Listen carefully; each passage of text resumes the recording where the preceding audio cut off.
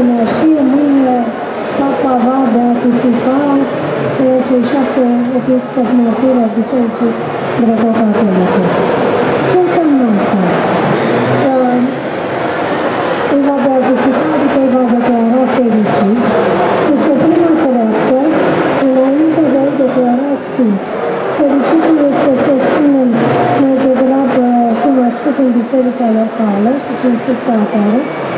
Și Sfântul este iese în Biserica Universală, nu cu limite, ăștia ca abordare. Ce înseamnă că îl declară fericit? Într-un fel, Biserica când declară pe cineva fericit a Sfânt, cumva își ia angajamentul, răspunderea, că omul acela este mântuit. Este într-adevăr la Dumnezeu, în cer. Nu poți să știi sigur, dar pentru aceștia Biserica și-a răspundere. Și în același timp, mai important decât asta, îi dă ca modele de viață pentru toată lumea care îi înțelege și consideră că e bine așa. Deci, pentru asta însă, pentru ca cineva să fie declarat ca atare, demersul foarte complicat și foarte sever, pentru că nu se face prin acudere.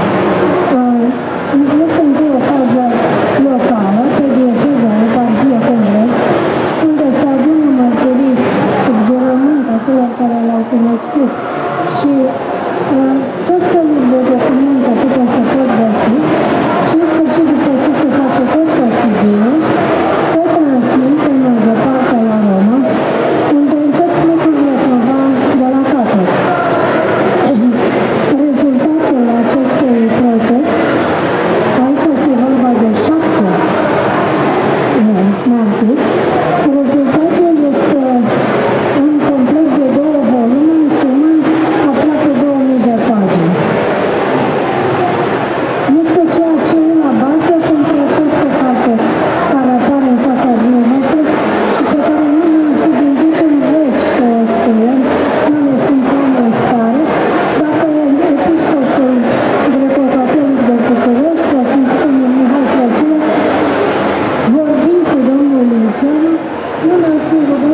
ultimately.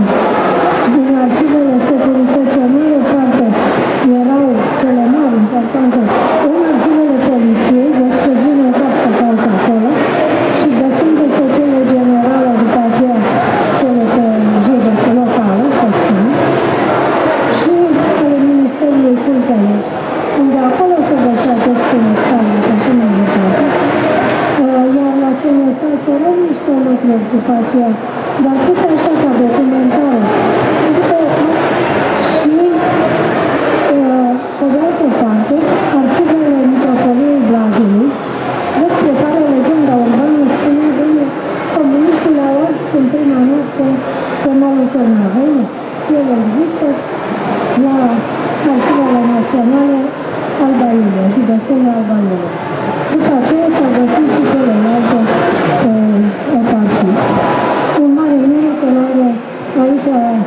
domnul Emanuel Cosmovici, care a săpat în toate cu o răbdare absolut.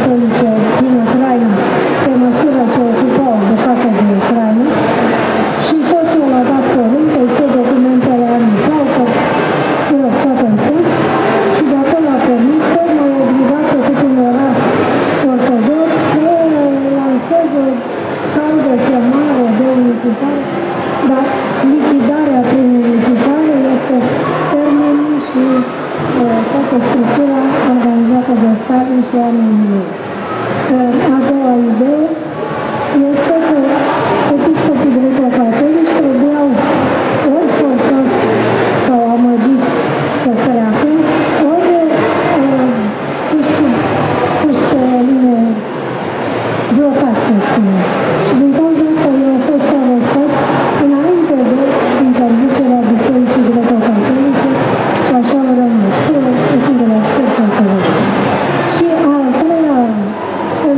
小鸡越吃越多